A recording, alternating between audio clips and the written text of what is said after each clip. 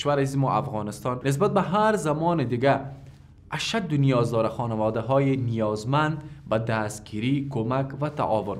هر کس که در چنین روزگار نیازمند را دستش می‌گیره و فقیر را به لبان خشک و دستای ترک برداشتش هدیه میده و لبخند عنایت میفرماید مطمئن باشین که نسبت به هر زمان اجر و پاداشش بیشتر خواهد بود.